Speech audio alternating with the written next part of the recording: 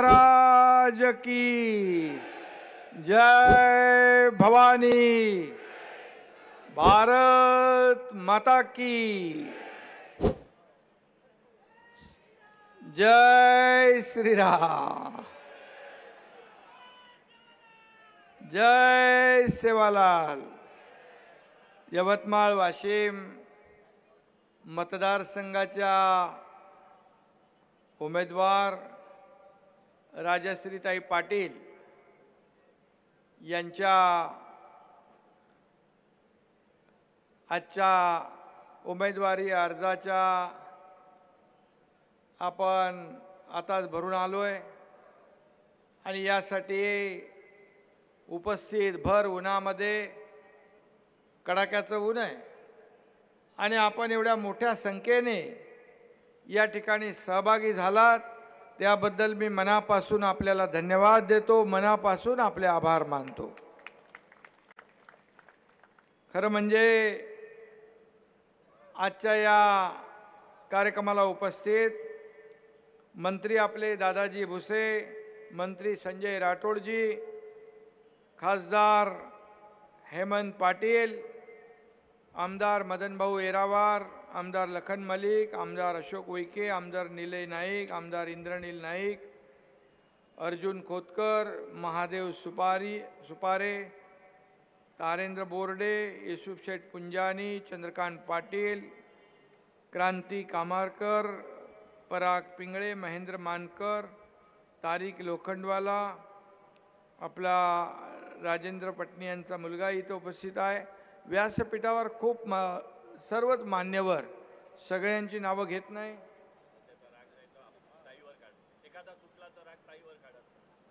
एखादा चुकला असेल तर माफ करा सगळ्यां सर्व व्यासपीठ.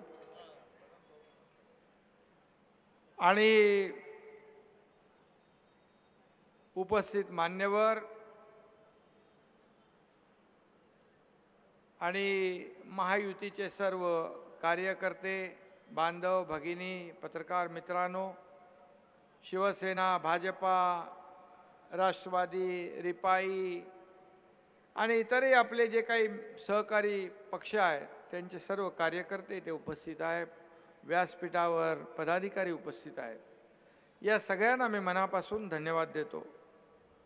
खरं म्हणजे मला देखील आपल्याला भेटायचं होतं आपलं दर्शन घ्यायचं होतं आणि मग हिंगोली अगोदर झालं आणि नंतर इथे या ठिकाणी पोहोचलो.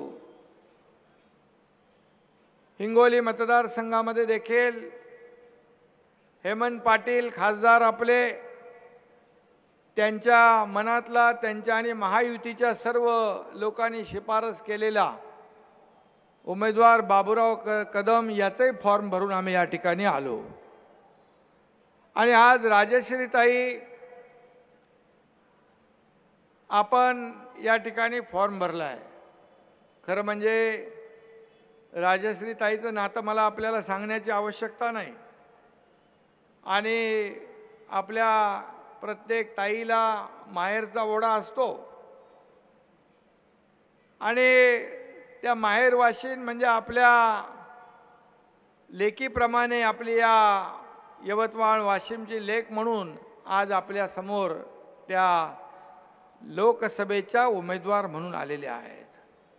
मला खात्री आहे जे वातावरण पाहतोय त्यावरून सगळे रेकॉर्ड ब्रेक करून आपण त्यांना निवडून देणार आहात हे नक्की मला त्याची खात्री आहे आणि विश्वास आहे. खरं म्हणजे माहेरच्या मायेने इथले सर्व मतदार आपल्या लेकीला निवडून देतील यामध्ये कुठली शंका माझ्या मनामध्ये नाही. आणि राजश्रीताई एक आपल्या धडाडीच्या नेत्या आहेत. आणि एक भाषणामध्ये देखील त्यांचं एक वक्तृत्व आहे त्यांची कमांड आहे त्या एक आपल्या धडाडीच्या वक्त्या आहेत. आणि त्या धडाकेबाज बोलतात आणि धडाकेबाज कामही करतात. त्या आता त्यांनी सगळ्या योजना आज आपल्या सगळ्या सांगून टाकल्या त्या तोंडावर आहेत त्यांच्या तोंडपाठ आहेत. काही योजना माझ्याही लक्षात राहत नाही पण त्या ताईने सगळ्या योजना आपल्या इथं बोलून दाखवल्या.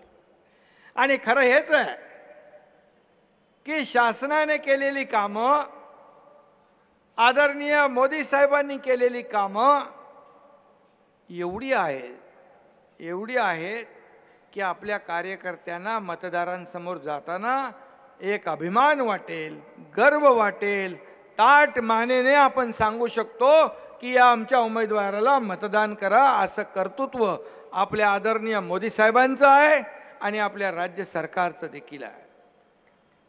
आणि म्हणून अनेक योजनांमध्ये मी जाऊ इच्छित नाही. योजना अनेक आहेत.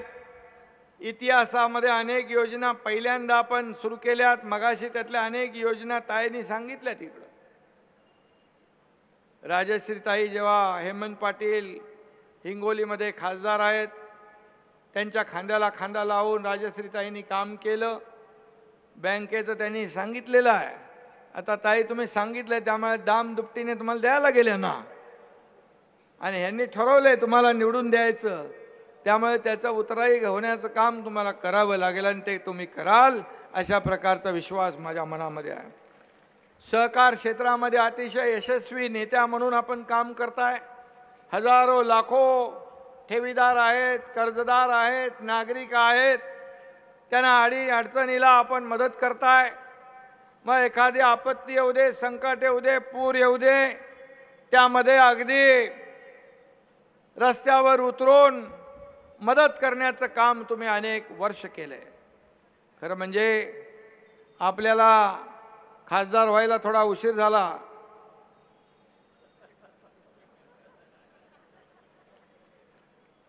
हेमंत तसं चांगलं आहे. त्यांनी देखील खूप कामं केली. आज हिंगोलीमध्ये जी कामं केली त्यांनी कोट्यावधी रुपयाची कामं दीड पावणे दोन वर्षामध्ये केली. हळदीचं सांगितलं प्रकल्प सांगितलं बॅरेज सांगितले पाण्या योजना सांगितल्या. आज तिथं देखील हिंगोलीमध्ये देखील आपला हा शिवसेनेचा महायुतीचा बालेकिल्ला. हे दोन्ही बाले किल्ल्यामध्ये महायुतीचे दोन्ही खासदार निवडून आल्याशिवाय राहणार नाहीत अशा प्रकारचं वातावरण आहे. आणि इथं देखील यापूर्वी आपल्या खासदार भावनाताई त्यांनीही काम केलं आहे दीड पावणे दोन वर्षामध्ये माझ्याकडे येऊन अनेक कामांना त्यांनी गती दिली आहे मार्गी लावलेली आहे. त्यांचाही नक्की कामांचा इथं फायदा राजश्रीताईला होईल. आणि खरं म्हणजे काही गोष्टी ज्या आहेत राजकारणामध्ये काही निर्णय समीकरणं आपल्याला करावी लागतात. परंतु असं करत असताना मी आपल्याला सांगतो हा एकनाथ शिंदे कुणालाही वाऱ्यावर सोडणार नाही सगळ्यांच्या पाठीशी खंबीरपणे उभा राहील. आणि मी इथे हेही सांगतो भावनाताई देखील खासदार आपल्या इथं होत्या.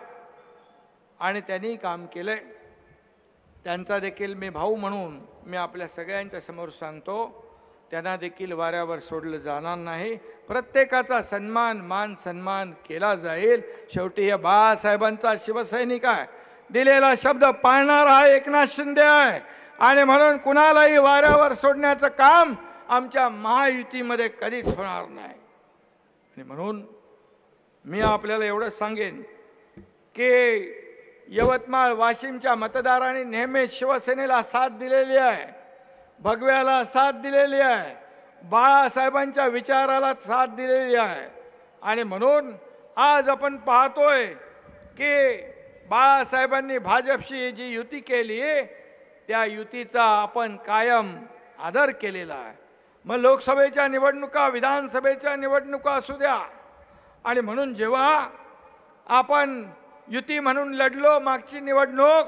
एकीकडे बाळासाहेबांचा फोटो दुसरीकडे नरेंद्र मोदी साहेबांचा फोटो लावून आपण मतदारांसमोर गेलो.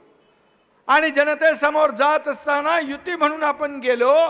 परंतु युती म्हणून जात असताना जेव्हा लोकांनी कौल दिला पण त्या कौल दिलेल्या कौलाला आपण धुडकावलं.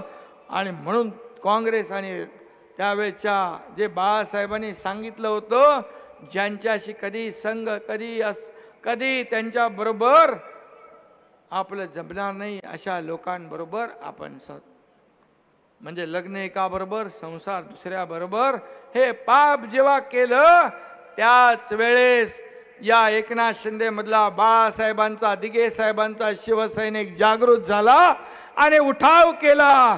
आणि या राज्यामध्ये सरकार आपल्या सर्वसामान्य लोकांच्या मताचं सरकार आपण आणलं. मला सांगा सरकार यायच्या पूर्वी सगळं बंद होतं ठप्प होतं काहीच चालू नव्हतं. सुरू असलेल्या प्रकल्प बंद पाडले जात होते. जलयुक्त शिवार योजना शेतकऱ्यांच्या दृष्टीने अतिशय महत्वाची योजना. देवेंद्रजींच्या काळात सुरू झाली ती बंद केली आकसापोटी. अनेक प्रकल्प बंद केले. मराठवाडा वॉटर ग्रीड बंद केलं. आणि मी सण उत्सव सगळ्यावर सगळ्यावर बंदी होती. मला सांगा सरकार स्थापन झालं मला वाटतं तीस जूनला. त्यानंतर पहिला सण गोविंदा गणपती आला. आम्ही सर्व बंदी हुकूम सोडून तोडून टाकले. बंद्या उठवल्या. सगळ्यांना मोकळा श्वास घ्यायला वाव दिला. या राज्यामध्ये एक सण उत्सव संस्कृती परंपरा जोपासण्याचं काम करण्याची संधी आपल्या सरकारने दिली. सगळे विकास प्रकल्प सुरू झाले. अगदी शेतकरी कष्टकरी कामगार माता भगिनी तरुण वर्ग आपले ज्येष्ठ मंडळी या सगळ्यांसाठी सगळ्यांसाठी सर्व समावेशक आपण निर्णय घेतले. एस टीचं ताईंनी सांगितलं. शेतकऱ्यांच्या सहा हजार रुपये मोदी साहेबांचे त्याच्यामध्ये आणखी सहा हजार रुपये आपण टाकले. हे पहिलंच राज्य आहे.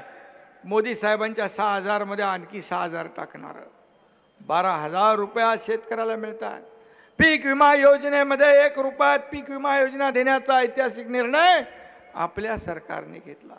लेख लाडकी लखपती योजना केली वयोश्री योजना ज्येष्ठांना केली तरुणांना कामासाठी बंद असलेली नोकर भरती सुरू केली स्किल डेव्हलपमेंट सेंटर सुरू केले हजारो लाखो तरुणांना आज काम मिळू लागलं हाताला काम मिळू लागलं. मग काय आम्ही पाप केला? आम्ही जो निर्णय घेतला हा निर्णय चुकीचा असता तर एवढे मोठे निर्णय घेण्याचं धाडस इतर कुणी केलं नसतं. आणि म्हणून या राज्यामध्ये जे वातावरण आहे हे आपलं सरकार सगळ्यांना वाटतंय माता भगिनींना वाटतंय माझ्या ज्येष्ठांना वाटतंय तरुणांना वाटतंय शेतकऱ्यांना वाटतंय कारण हे सरकार ट्वेंटी फोर बाय सेवन काम करणारं सरकार आहे. घरात बसून उंटावर शेळ आखणारं हे सरकार नाही. फेसबुक लाईव्हवर चालणारं सरकार नाही तर फेस टू फेस चालणारं हे सरकार आहे. आणि म्हणून बांधावर जातो शेतावर जातो रस्त्यावर जातो याची पण पोटदुखी होते. आज आपल्याला माहीत आहे की एकीकडे या देशाचे प्रधानमंत्री या दहा वर्षामध्ये त्यांनी जे काम केलं जे पन्नास साठ वर्षात जे जमलं नाही ते दहा वर्षामध्ये करून दाखवण्याचं चमत्कार आदरणीय मोदी साहेबांनी केला. का गौरव वाटू नये त्यांचा? का अभिमान वाटू नये? त्याने आपल्या देशाचं नाव पूर्ण जगभरामध्ये रोशन करण्याचं काम केलं. आज भारत एक महासत्ता बनतोय. भारत आर्थिक बलवान होतोय. अकराव्या नंबरवरून पाचव्या नंबरवर मोदी साहेबांनी अर्थव्यवस्था आणली. इतर जगामध्ये इतर देशांची अर्थव्यवस्था डगमगली आहे खचली आहे अशा परिस्थितीत पाचव्यावरून अकराव्यावरून पाचव्यावर पाचव्यावरून तिसऱ्यावर आणण्याचा निर्धार मोदी साहेबांनी केला. किती योजना आपल्यासाठी केल्यात? महिला भगिनींसाठी केल्यात? किती योजना? लोन होतं एक लाखाचं पाच लाख पाच लाखाचं दहा लाख पंचवीस लाख पन्नास लाख. राजश्रीताईला माहीत असेल. आता पन्नास लाख रुपयापर्यंत केंद्र सरकारने ठरवलंय आपल्या माता भगिनींना कर्ज देण्याचं बांधवांना कर्ज देण्याचं. हे ऐतिहासिक निर्णय आहेत. आज इतर देशातले मोठमोठे सगळे अध्यक्ष राष्ट्रपती आज मोदीजींना बॉस म्हणतो कोण? कोणी वाकून नमस्कार करतो कोणी काय करतो कोणी सेल्फी काढतो. कधी चित्र पाहिलं होतं आपण? मग अशा प्रधानमंत्री जे पूर्ण जीवन त्यांनी या देशाला समर्पित केलं दहा वर्षात एकही दिवस सुट्टी घेतली नाही. नाही तर दुसरे लोक वर्षातून चार महिने परदेशी जातात थंड हवा खायला.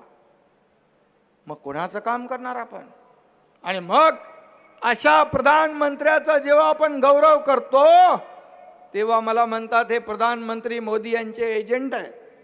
मी म्हणतो हो मला अभिमान आहे. अरे परदेशात जाऊन आपल्या देशाची बदनामी करणाऱ्यांचे एजंट होण्यापेक्षा देशभक्त आणि राष्ट्रभक्त मोदींचं एजंट होणं कधीच हे जळफळाट आहे. जळफळाट. एक शेतकऱ्याचा मुलगा मुख्यमंत्री कसा होऊ शकतो? होता कामा नये का? काय तुमची जागीर आहे? सोन्याचा चमचा घेऊन आलेलीच मुख्यमंत्री व्हायचं?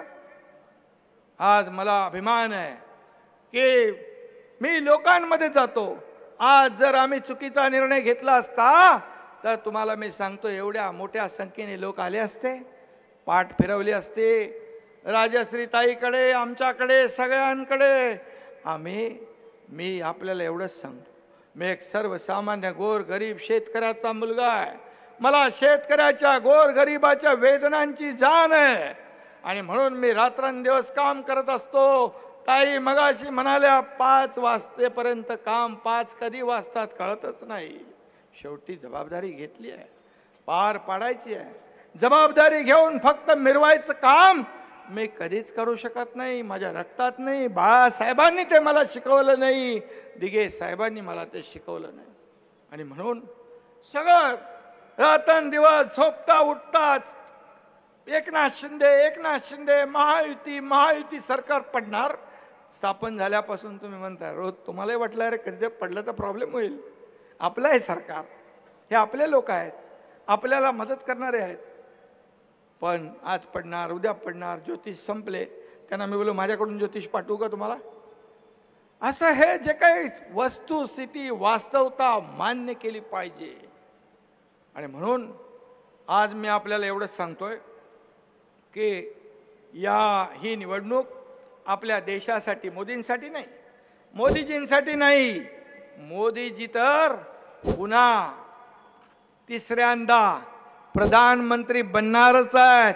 फिर एक बार मोदी सरकार आने वाली है. पण ही ही निवडणूक एकनाथ शिंदेसाठी नाही मोदी साहेबांसाठी नाही राजश्रीताईसाठी नाही. ही देशासाठी महत्वाची आहे. ही देशासाठी निवडणूक महत्वाची आहे. कारण एक देशभक्त राष्ट्रभक्त या देशाचा प्रधानमंत्री झाला. आज मला सांगा तीनशे सत्तर कलम हटवण्याची हिम्मत कुणी दाखवली? राम मंदिर वही बनाएंगे मंदिर वही बनाएंगे तारीख नाही बताएंगे चेष्टा करणारे लोक देखील आपण पाहिले. पण मंदिर देखील बांधलं तारीख देखील सांगितली उद्घाटन देखील झालं. हे कुणी केलं असतं? हे बाळासाहेबांचं स्वप्न होतं करोडो राम भक्तांचं स्वप्न होतं. हे पूर्ण करण्याचं काम कुणी केलं? मोदीजींनी केलं. अमित भाईंनी सा तीनशे सत्तर कलम हटवलं. हे देशभक्त आणि राष्ट्रभक्तीचं काम आहे. आणि म्हणून असे प्रधानमंत्री आपल्याला लाभलेले आहेत. म्हणून आपल्या देशाला पुढे न्यायचं असेल देशाला प्रगती करायची असेल या देशाला महासत्ता बनवायचं असेल तर आपल्याला मोदी साहेबांशिवाय पर्याय नाही. आणि म्हणून मोदी साहेब म्हणतात अबकी बार चारसो पार म्हणतात. मग आपलं पण वाटा त्याच्यामध्ये अबकी बार पैतालीस पार. हे आपलं पाहिजे. आणि म्हणून एकीकडे या देशाची बदनामी करणारे लोक दुसरीकडे देश पुढे नेणारे लोक. त्यांच्याकडे अजेंडा पण नाही. त्यांच्याकडे स्वतःचे झेंडे पण नाहीत. आज आपल्याकडे धनुष्यपान आहे कमळ आहे घड्याळ आहे. त्यांच्याकडे तेही नाही. अजेंडा नाही झेंडा नाही काही नाही. पण आपल्याकडे ने- नेताही नाही. आणि त्यांच्याकडे काय? त्यांच्याकडे कट कमिशन करप्शन. आपल्याकडे काय? नीती निर्णय आणि नियत साफ आहे. त्यांचं काय म्हणतो आपण? करप्शन फर्स्ट आपल्याकडे नेशन फर्स्ट. राष्ट्र पहिलं हे आपलं मोदी साहेबांनी ठरवलंय. राष्ट्राशी कुठली तडजोड करू शकत नाही. ज्यांनी या देशाच्या विरोधात वक्तव्य केलं महाराष्ट्र भवनाच्या वर व्यक्त वक्तव्य केलं विरोधामध्ये जे श्रीनगरमध्ये आपण बांधतोय त्यांच्या मांडीला मांडी लावून बसतात. बाळासाहेबांचे विचार सोडले त्यांना लोक कसं माफ करणार? आणि म्हणून मी आपल्याला एवढं सांगतो की या देशाचे प्रधानमंत्री त्यांच्याकडे प्रधानमंत्री पदाचा उमेदवार पण नाही. आले होते सगळे कडबोळे एकत्र आले नंतर एक एक एक एक एक एक निघून गेले. गेल्या दोन हजार चौदाला पण त्यांनी असंच बदनाम केलं मोदीजींना. काय परिस्थिती झाली? जेवढ्या शिव्या शाप दिल्या तेवढी मतं जास्ती मिळाली. दोन हजार एकोणीसला पण शिव्या शाप दिल्या तेवढी मतं जास्ती मिळाली. विरोधी पक्ष नेता बनवायचे एवढे देखील खासदार निवडून आले नाही. आणि आताची परिस्थिती तर अतिशय भयानक आहे. मोदी द्वेषाने पछाडलेले लोक आहेत. एकीकडे मोदी द्वेषाने पछाडलेले. या देश विरोधी बदनामी देशाची करणारे आणि दुसरीकडे विकासाचा अजेंडा घेऊन चालणारे. या देशातल्या जनतेला कसं गरिबीच्या बाहेर काढायचं? काही लोकांनी पूर्वी गरिबी हटाव नारा दिला. गरीब हटले नाहीत. गरिबी नाही हटले. गरीब हटले पण गरिबी नाही हटली. आज मी अभिमानाने सांगतो पंचवीस कोटी लोकांना मोदी साहेबांनी दारिद्र्य रेषेच्या बाहेर काढलं. पंचवीस कोटी हा आकडा छोटा नाही. ऐंशी कोटी जनतेला जे कोविडमध्ये धान्य मोफत देण्याचा निर्णय घेतला तो पुढे पाच वर्ष कायम ठेवला. हे काम मोदीजींचं आहे. पंतप्रधान आवास योजना म्हणजे रोटी कपडा मकान हा पिक्चर आपण पाहिलाय हा रोटी कपडा मकान देणे वाला हा प्रधानमंत्री मोदीजी आहेत. आणि म्हणून आपल्याला त्यांच्या पाठीशी उभं राहायचं आहे. आणि म्हणून चोवीस तास काम करणारे लोक आहेत. ताईंनी बरोबर सांगितलं.